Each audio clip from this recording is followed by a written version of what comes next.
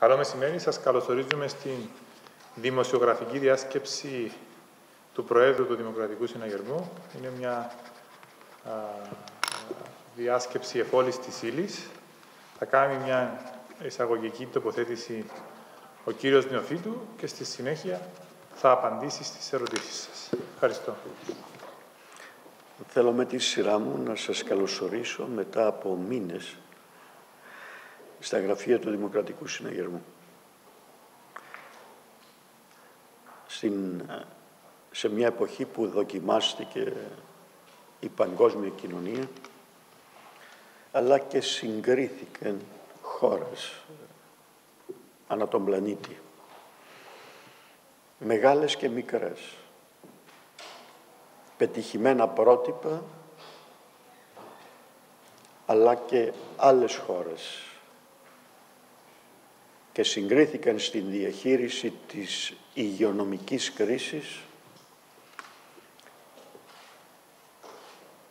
οι τέσσερις υπήροι, οι, οι πέντε υπήροι. Θέλω να σταθώ πρώτα σε αυτό που και μέσα από την κρίση που περάσαμε του κορονοϊού κατανοήσαμε όλοι σε όλα τα μήκη και πλάτη του πλανήτη πόσο σημαντικό είναι το αγαθό της υγείας. Και στην υγειονομική διαχείριση ο πρόεδρος Αναστασιάδης και η κυβέρνησή του η Κύπρος μας πήρε άριστα. Και πρέπει ως Κύπροι ανεξάρτητα ιδεολογικών αποχρώσεων να αισθανόμαστε ιδιαίτερη περηφάνεια γιατί η μικρή μας πατρίδα είναι μέσα στα παραδείγματα προς μίμηση ανά το παγκόσμιο. Όταν δίδαμε υπερδυνάμεις, όπως η Αμερική και η Ρωσία, η Αγγλία και η Γαλλία, η Ιταλία και η Ισπανία, να παλεύουν χωρίς να έχουν τα επιθυμητά αποτελέσματα στην διαχείριση της υγειονομικής κρίσης. Θέλω με τη σειρά μου να ευχαριστήσω και να συγχαρώ την επιστημονική ομάδα. Αυτούς τους ήρωες όλους της πρώτης γραμμής, ιατρικό, παραϊατρικό, νοσηλευτικό προσωπικό, δημόσια και ιδιωτικά νοσηλευτήρια, τον καθένα ταγμένο στο θέμα της δημόσιας υγείας, αλλά και σε όσους όλους αυτούς τους μήνες από τους πολιτές, τις πολίτριες, τις υπεραγορές, τους φούρνους, τα κρεοπολία, τους εργαζόμενους στην τοπική αυτοδιοίκηση, που μεριμνούσαν για την καθαριότητα και όλοι μαζί συνετέλεσαν με καπετάνιο τον Νίκο Αναστασιάδη να λειτουργήσουν όλα με τέτοιο τρόπο που να έχουμε αυτά τα άριστα αποτελέσματα. Να συγχαρώ και τον Υπουργό Υγείας, τον Κωνσταντίνο Ιωάννου, μαζί με το επιτελείο του και ολόκληρο το κυβερνητικό σχήμα που δούλεψαν συλλογικά στην διαχείριση αυτής της υγειονομικής κρίσης. Το δεύτερο μεγάλο στίχημα, πιο δύσκολο από το πρώτο, είναι από τη μια να διατηρήσουμε την ασφάλεια στην δημόσια υγεία και στην προσωπική υγεία του καθενός μας, την ώρα που καθηκόντως πρέπει να μεριμνήσουμε όλοι για την επανεκκίνηση της οικονομίας. Τα πρώτα δείγματα είναι θετικά. Χρειάζεται όμως επαγρύπνηση, αλλά και προσοχή. Η κυβέρνηση πέραν από την διαχείριση της υγειονομικής κρίσης πήρε έγκαιρα μέτρα για τη στήριξη εργαζομένων και είχαμε από την ίδρυση της Κυπριακής Δημοκρατίας το πιο γενναιόδωρο πακέτο στήριξης της κοινωνίας των εργαζομένων, των μικρομεσαίων επιχειρήσεων, του συνόλου της κοινωνίας. Αλλά όχι μόνον ήταν το πιο δυνατό πακέτο στήριξης της κοινωνίας από την ίδρυση της Κυπριακής Δημοκρατίας, αλλά και το πιο δυνατό πακέτο στήριξης συγκρινόμενο με οποιοδήποτε άλλο, οποιασδήποτε άλλης χώρας στην Ευρώπη. Θέλω σε αυτό το σημείο και πάλι να συγχαρώ τον Πρόεδρο της Δημοκρατίας, τον Υπουργό Οικονομικών, τον Κωνσταντίνο τον Πετρίδη, την Υπουργό Εργασίας της ΖΕΤΑ, την Εμίλια Δίδου, αλλά και όλα τα στελέχη του Υπουργείου, των Υπουργείων, αλλά και όλους τους Υπουργούς. Για τον συντονισμό, το ξεκάθαρο μυαλό, αλλά και τη σωστή αρχιτεκτονική για το συνολικό οικονομικό πακέτο.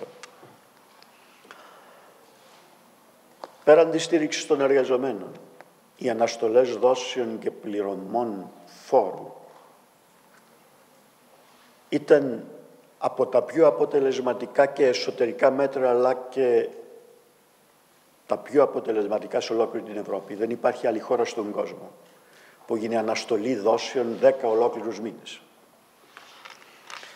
Δεν θα μείνω στις διαφορές που είχαν δημιουργηθεί για το πακέτο στήριξης της ρευστότητας των μικρομεσαίων επιχειρήσεων. Εμείς στο Δημοκρατικό Συνεγερμό ποτέ οι αντιπαραθέσεις, οι ίντρικες δεν ήταν προτεραιότητά μας. Πάντα είχαμε μια αρχή και πέτρες να μας ρίχνουν, αυτές τις χρησιμοποιούμε όχι για να τις ρίχνουμε πίσω, αλλά για να χτίζουμε γέφυρες, για να συνεργαζόμαστε.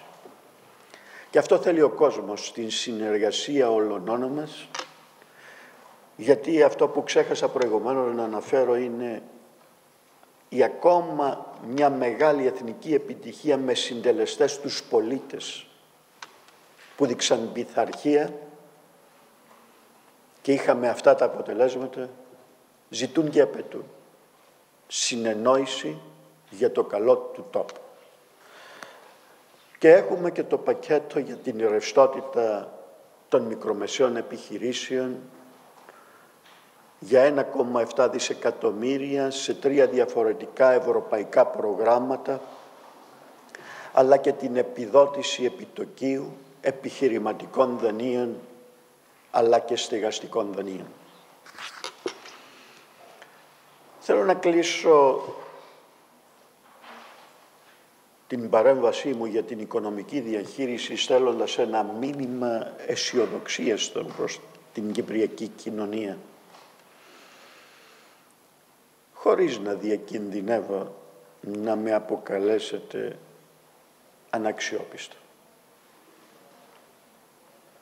Ούτε και θεωρώ ότι παίρνω ρίσκο με να κάνω αυτή την τοποθέτηση. Όπως ξεπεράσαμε την κρίση του 2013, με την οικονομία μας αξιόπιστη και με το κράτος να διαθέτει ρευστότητα αλλά και αξιοπιστία και που δανείστηκε δυόμιση δις για να μπορεί να στηρίζει την κοινωνία, πιστεύω ακράδαντα πως τα αποτελέσματα της οικονομικής διαχείρισης των επιπτώσεων λόγω του κορονοϊού θα είναι πολύ πιο εξαιρετικά από ό,τι στο παρελθόν. Και όπως η Κύπρος μας δέχεται τα σχόλια ανά το παγκόσμιο για την άριστη διαχείριση της υγειονομικής κρίσης. Να μου το θυμηθείτε πως παρόμοια και πιο θερμά λόγια θα λέγονται για την επιτυχία της οικονομικής διαχείρισης. Πιστεύω στο οικονομικό επιτελείο της κυβέρνησης, στους χειρισμούς του Προέδρου της Δημοκρατίας, του Νίκου Αναστασιάδη, αλλά και στο γυνάτι και το πείσμα των Κυπρίων αλλά και των Κυπρίων επιχειρηματιών. Θα ξεπεράσουμε και τα οικονομικά προβλήματα και θα μας βρει το 21 πολύ δυνατούς με ρυθμούς οικονομικής ανάπτυξης που δύσκολα θα βρίσκεται χώρα εντός της Ευρώπης να συγκριθεί με την Κύπρο. Είναι στο μέταλλο, είναι στον DNA των Κυπρίων να αναδεικνύουν τις δυνατότητες τους μέσα από τις μεγάλες κρίσεις. Όμως θα κλείσω τη σημερινή παρέμβασή μου για αυτό που έχει σημασία για τον τόπο, τα παιδιά, τις μελλοντικές γενιές. Εύχομαι ειλικρινά να μην χάσουμε ως κοινωνία ακόμα μια μεγάλη ευκαιρία που μας δίνεται γιατί κάθε δυσκολία η κάθε πρόκληση πρέπει να είναι και μια μεγάλη ευκαιρία. Να κάνουμε τις αναγκαίες ριζοσπαστικές μεταρρυθμίσεις που έχει ανάγκη ο τόπος. Χάσαμε πολλά ιστορικά σταυροδρόμια ως τόπος. Για να μεταρρυθμίσουμε το κράτος μας για το καλό της κοινωνίας. Και πριν απαριθμίσω τις προτεραιότητες, θα ήθελα και εγώ με τη σειρά μου να υπογραμμίσω την μεγάλη επιτυχία αλλά και την ιστορική χθεσινή μέρα που μέσα από τις δυσκολίες του κορονοϊού η κυβέρνησή μας, ο πρόεδρος Αναστασιάδης, ο Υπουργός Υγείας, ο Κωνσταντίνος Ιωάννου κέρδισαν το στίχημα χωρίς ούτε μια μέρα καθυστέρηση να εφαρμοστεί η δεύτερη φάση του ΓΕΣΥ. Η μεγαλύτερη κοινωνική μεταρρύθμιση που έγινε ποτέ στον τόπο μας. Συγχαρητήρια σε όλους τους συντελεστές.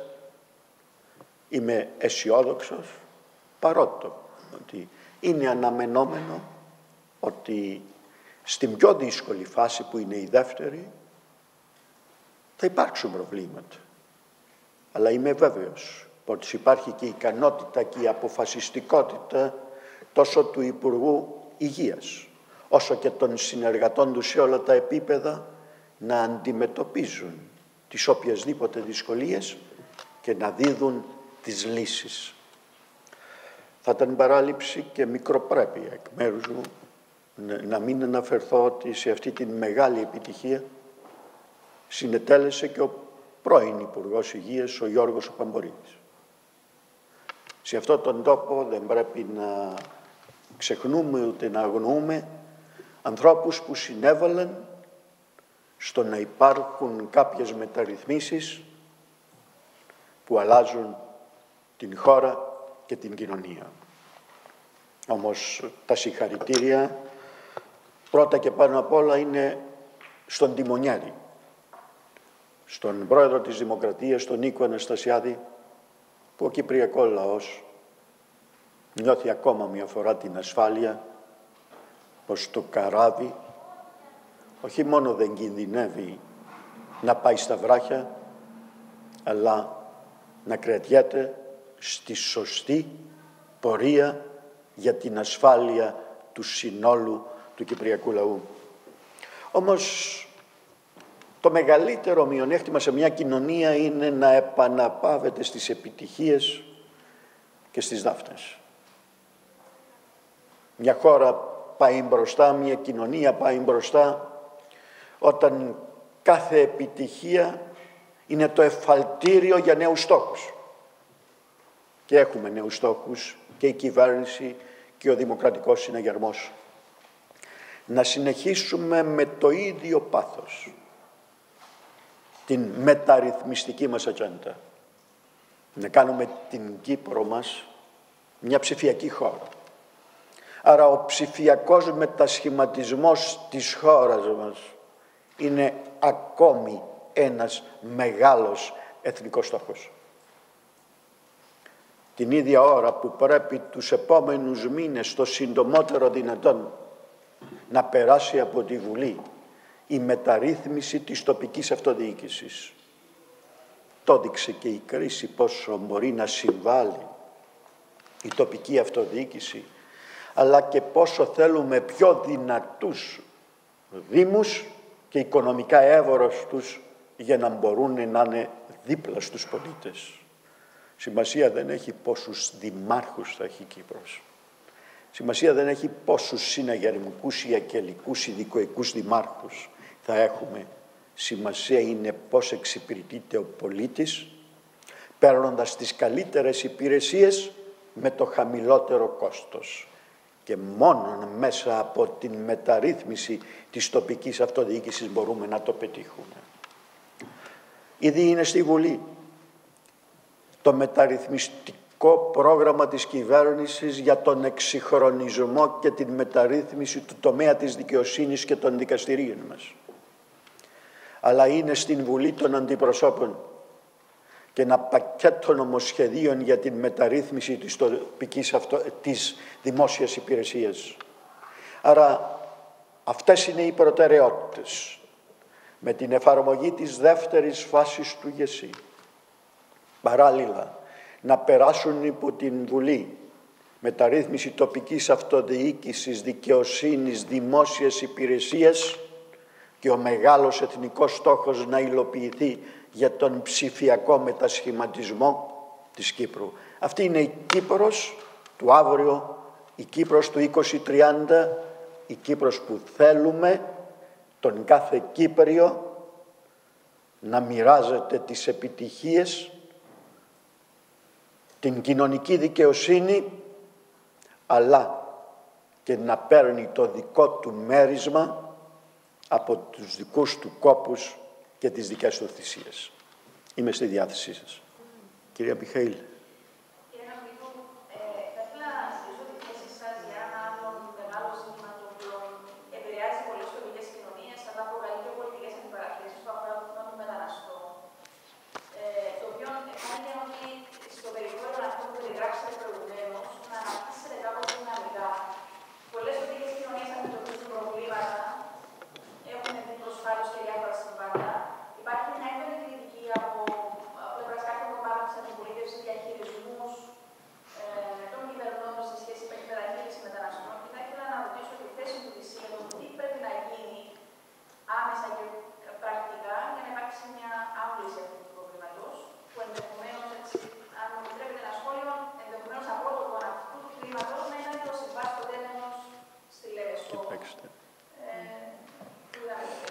Δεν, αυτή η παράταξη δεν απόφυγε ποτέ τις καυτές πατάτες. Το μεταναστευτικό είναι ένα σοβαρό ζήτημα. Που αν δεν το προσέξουμε μπορεί να εκτροχιαστεί και να τεθεί εκτός ελέγχου. Θα οριοθετήσω τη θέση του Δημοκρατικού Συναγερμού στο μεταναστευτικό. Όπως και σε όλα τα ζητήματα. Ο Δημοκρατικός Συναγερμός ποτέ δεν ήταν σε οποιοδήποτε άκρο. Λάθη κάνουμε, παραλήψεις κάνουμε. Όμως στις κεντρικές μας πολιτικές ταπεινά λέω. Είμαστε οι δύναμοι που αποφεύγει τα οποιαδήποτε άκρα. Και στο μεταναστευτικό υπάρχουν δύο άκρα. Το ένα άκρο είναι που θέλει την Κύπρο να είναι μια ελεύθερη Κέρκυρα. Όποιοι θέλετε, κοπιάστε στην Κύπρο με μια διεθνιστική προσέγγιση. Μια αριστερή προσέγγιση. Και είναι και μια άλλη αντίληψη, το άλλο άκρο, με ένα μίσος και μυσαλλοδοξία. Όποιος δεν είναι Έλληνας και χριστιανός είναι εχθρός. Εμείς σεβόμαστε τα ανθρώπινα δικαιώματα των πολιτικών προσφύγων.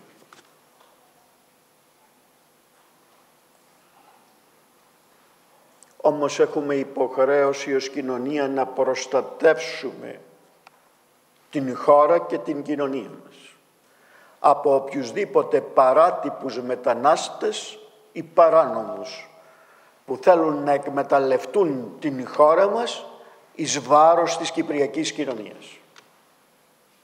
Ξεκάθαρη θέση.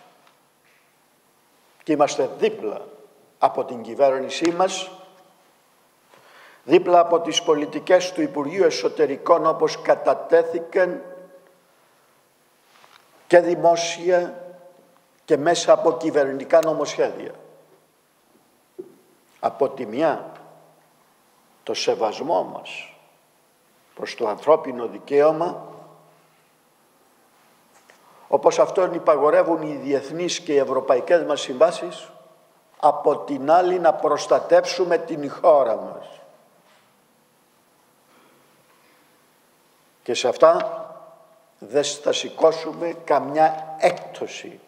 Ούτε θα δεχτούμε να παραβιαστούν ανθρώπινα δικαιώματα, ούτε από την άλλη η χώρα μας να είναι μια ελεύθερη Κέρκυρα, όποιοι θέλετε ελάτε, κοπιάστε,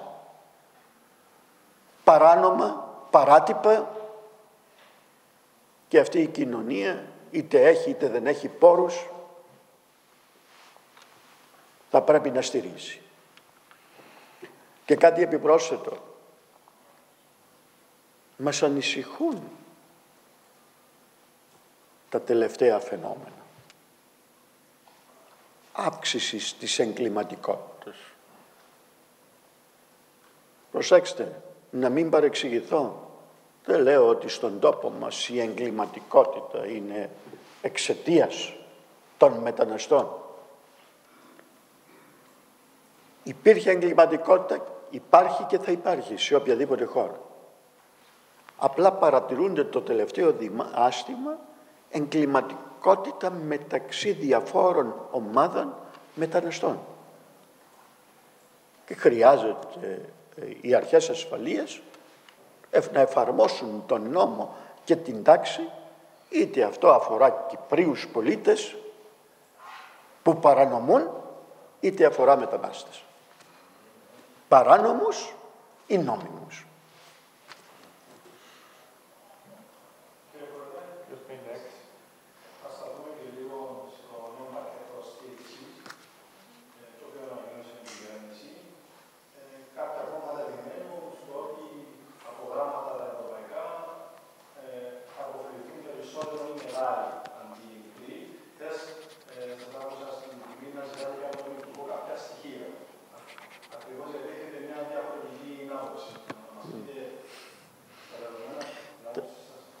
Στοιχεία, αγαπητέ μου, όπως τα παρέθεσε και ο Υπουργός Οικονομικών, είναι ότι με βάση την προϊστορία των ευρωπαϊκών προγραμμάτων, το 90% της οποιασδήποτε χρηματοδότησης των τελευταίων 6-7 χρόνων πήγε στις μικρομεσαίες επιχειρήσεις. Στις μικρομεσαίες επιχειρήσεις. Μόνο ένα 10% στις μεγάλες επιχειρήσεις. Ναι, με τις, ναι, αυτά που λέχθηκαν χθες. Το δεύτερο, κοιτάξτε για να δείτε τις, τις, τις ε, κάποιες αντιφάσεις. Λέχθηκε από πολιτικά κόμματα ότι μα είναι τέτοιες οι διαδικασίες των ευρωπαϊκών προγραμμάτων ελέγχου κλπ. που μπορεί να καθυστερήσουν στην εκταμίευση λέχθηκε ξεκάθαρα από πολιτικά κόμματα και πολιτικούς αρχηγούς. Πώς συνάδει από τη μια να κατηγορούν την κυβέρνηση ότι δήθεν δεν ήθελε τον έλεγχο και τώρα πάλι να την κατηγορούν ότι επιλέγει προγράμματα που είναι τέτοιοι έλεγχοι που θα καθυστερήσουν η εκταμείευση των δανείων. Να αποφασίσουν σε ποιο σημείο έχουν δίκιο. Το ένα τους επιχείρημα αντιστρατεύεται το άλλο. Και να ξεκαθαρίσω, ως δημοκρατικός συναγερμός και ως κυβέρνηση, ουδέποτε είχαμε πρόβλημα με οποιονδήποτε έλεγχο. Ένα πρόβλημα μόνο έχουμε. Το να προσπαθούν οποιοδήποτε να σκοτώνουν τις οποιασδήποτε προσπάθειες για στήριξη της οικονομίας και της κοινωνίας. Θα μας βρίσκουν απέναντί μας όχι οι συνάδελφοι των άλλων πολιτικών κομμάτων. Θα μας βρίσκει απέναντί της η νοοτροπία, η πολιτική ή οποιαδήποτε νοοτροπία που περιμένει στη γωνιά εκ του ασφαλούς να προσπαθεί η κυβέρνηση και ο συναγερμός να δίδουν λύσεις σε προβλήματα και αυτοί να ψάχνουν μικροπροβλήματα των λύσεων. Εμάς το καθήκον μας δεν είναι να ψάχνουμε στα πίτουρα για να βρίσκουμε κάποιες αδυναμίες, κάποιες λύσεις. Αλλά καθήκον και υποχρέωσή μας για κάθε πρόβλημα να βρίσκουμε λύση. Εγνώση μας ότι η οποιαδήποτε λύση δεν είναι η τέλεια. Αλλά πρέπει να αντιμετωπίζουμε τα προβλήματα γρήγορα και αποτελεσματικά.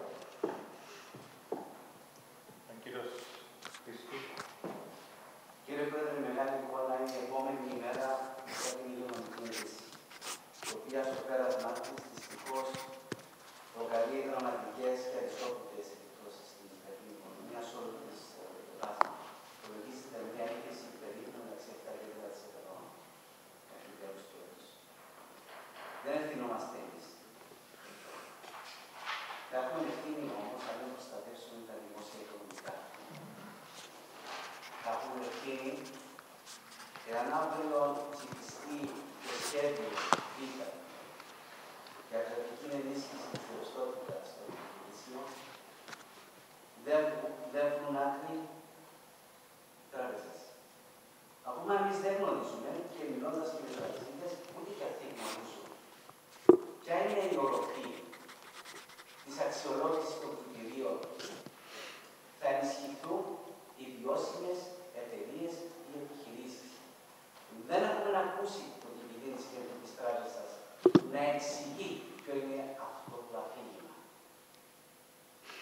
Αγαπητά μου,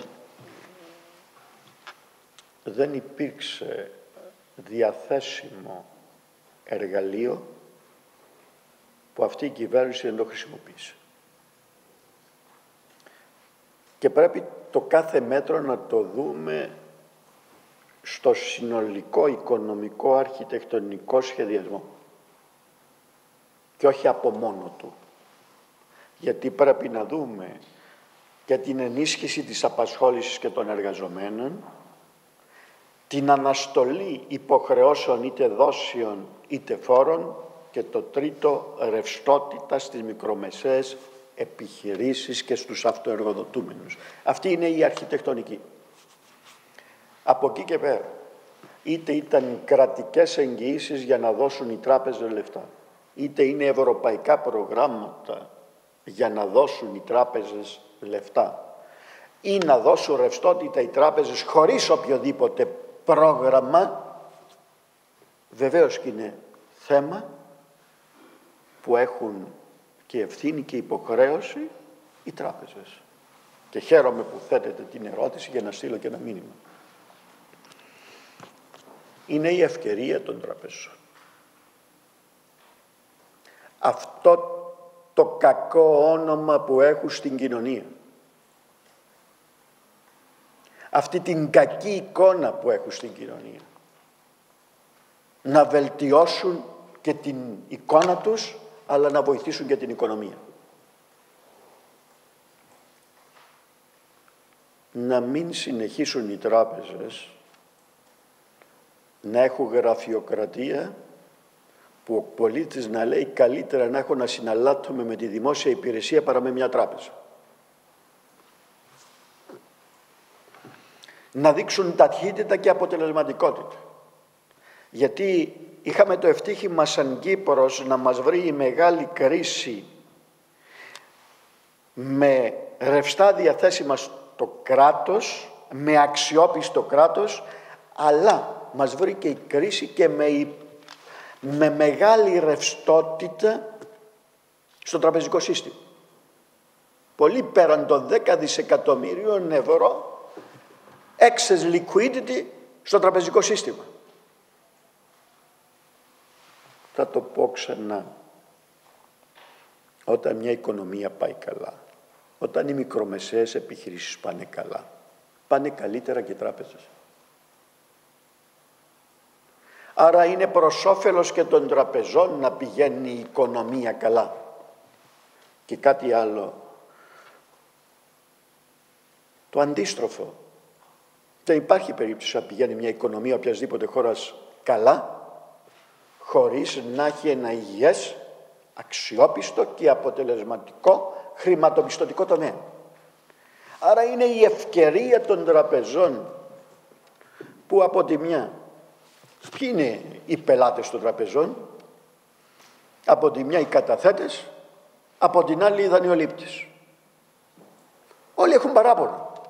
Οι καταθέτες έχασαν τα λεφτά τους, γιατί οι τραπεζίτες δεν μπορούσαν να εισπράξουν από αυτούς που έδιναν τα δάνεια για να δώσουν πίσω τα λεφτά στους καταθέτες και από την άλλη οι δανειολήπτες, άλλοι που κινδυνεύουν λόγω προβλημάτων που είχαν.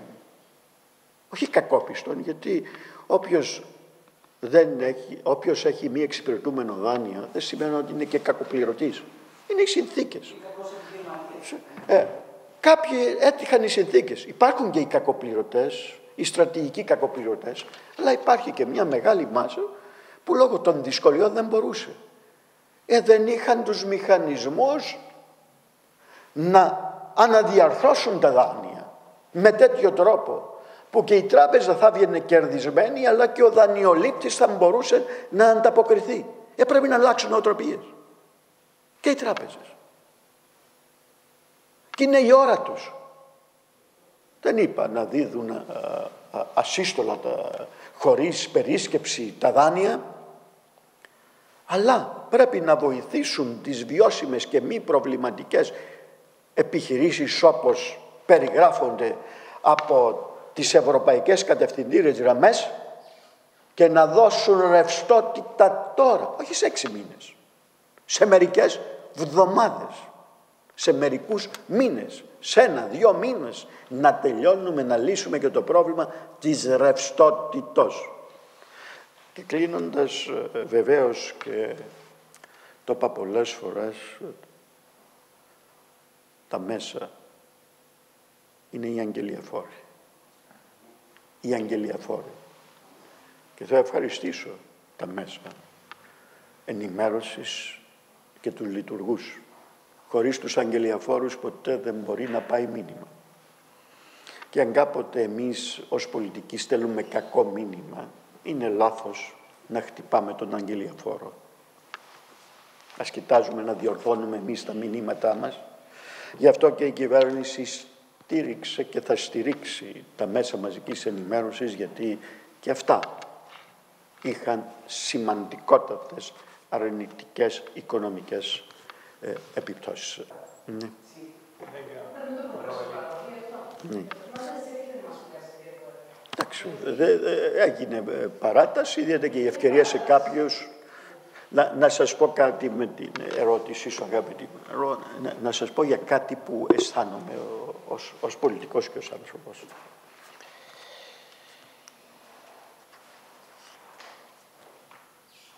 Όσον αφορά το κομμάτι δανειολήπτης. Όσοι δεν μπορούσαν να πληρώσουν τα δάνειά τους και είχαν υποθήκη το σπίτι τους μέχρι μια συγκεκριμένη αξίας, ήρθε το κράτος, έκανε την αιστεία για να τους βοηθήσει. Ένα μέρος του κόστου να το λάβει η τράπεζα, ένα μέρος ο φορολογούμενος και όσο σηκώνει ο δανειολήπτης. Σωστή. Κοινωνική πολιτική. Ήρθα και πολύ σωστά η κυβέρνηση και τώρα πέραν από τα ευρωπαϊκά προγράμματα επιδοτεί τα νέα επιχειρηματικά δάνεια και επιδοτεί και τα νέα οικιστικά δάνεια.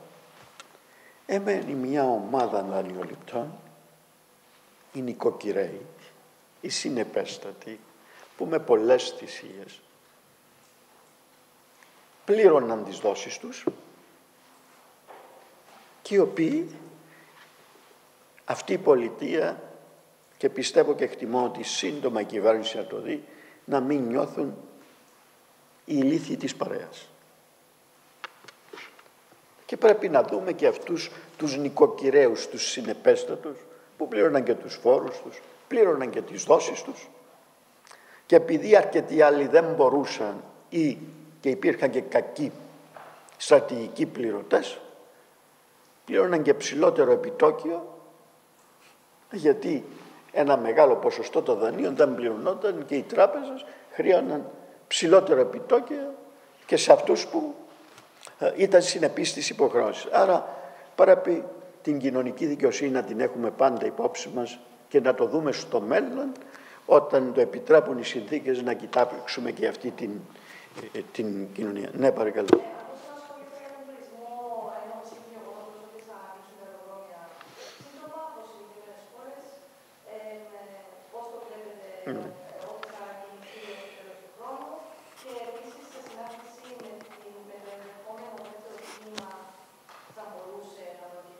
Ναι. Θα σχολιάσω τον, το, το θέμα του τουρισμού. Πρώτον θα πω την ταπεινή μου άποψη.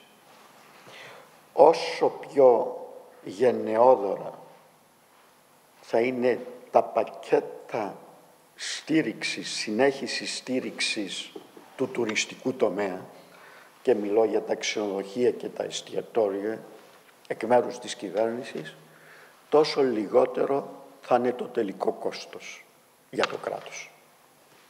Γιατί πρέπει να ενθαρρύνουμε τους ξενοδόχους και τους εστιατόρες και όλους τους συνδεδεμένους με την τουριστική βιομηχανία να ανοίξουν τις επιχειρήσεις τους και να μην προβληματίζονται ότι αν τις ανοίξω θα πατήσω. Άρα αν η κυβέρνηση έχει ένα γενναιόδωρο πρόγραμμα συνέχισης της στήριξης αυτού του τομέα θα ενθαρρυνθούν να ανοίξουν και στο τέλος του κράτους θα του κοστίσει λιγότερο. Αν πάμε με πολύ, πολύ συντηρητικά μέτρα στήριξης της τουριστικής βιομηχανίας για τους επόμενους μήνες, πολύ φοβάμαι ότι οι πληστοί δεν θα ανοίξουν. Με αποτέλεσμα το κόστος στα δημόσια οικονομικά να είναι μεγαλύτερο. Όμως έχει και ένα κομμάτι που αφορά τους ξενοδόχους μας. Εάν η κυβέρνηση που πιστεύω θα πράξει το καθήκον της για να έχει μια γενναιόδορη συνέχιση της στήριξης στην βιομηχανία που έχει πληγεί περισσότερο και αυτοί πρέπει να βγουν με τους συνεργάτες τους του εξωτερικού και να στείλουν ένα μήνυμα ότι είναι δίπλα από τους συνεργάτες τους τους τουριστικούς πράκτορες και στις καλές χρονιές όπως είναι το 19 και στις δύσκολες χρονιές που είναι το 20 να στείλουν ένα μήνυμα ότι όπως μοιραζόμασταν τα κέρδη στις καλές χρονιές θα είμαστε δίπλα σας συνεργάτες να σας στηρίξουμε, να μειώσετε τα ρίσκα σας σαν ταξιδιωτικοί πράκτορες, να νιώσει ο ξένος ταξιδιωτικός πράκτορας ότι βρίσκει την κατανόηση από ένα συνεργάτη του που τα τελευταία 5-6 χρόνια και με τη βοήθειά τους είχαν εξαίρετα αποτελέσματα. Να βγούμε προς τα έξω και σαν μια οικονομία που είμαστε διαθετημένοι να δούμε και το πρόβλημα του συνεργάτη μας. Και με αυτόν τον τρόπο πιστεύω ότι αν πράξουμε αυτά τα δύο, το κράτος έρθει με συνέχιση ενός γενναιόδορου προγράμματος στήριξης της ξενοχειακής βιομηχανίας και της επισυστικής, θα ενθαρρυνθούν να ανοίξουν. Άμα ανοίξουν, δείξουν αυτή την καλό πνεύμα για συνεργασία με τους τουριστικούς πράκτορες του εξωτερικού. Και εν πάση περιπτώσει να επωφεληθούμε και τα καλά σχόδια το παγκόσμιο. Να εξαργυρώσουμε και τα άριστα αποτελέσματα που λέμε ότι είμαστε μια από τις πιο ασφαλείς υγειονομικά χώρες. Να πουλήσουμε επιτέλους αυτές τις θυσίες και τα επιτεύγματά μας. Και εγώ είμαι αισιόδοξος. Λένε όλοι 15-20% αν τα καταφέρουμε και σε αυτό μπορεί να εκπλαγούμε θετικά υπό τις προϋποθέσεις που έχω πει. Σας ευχαριστώ πάρα πάρα πολύ.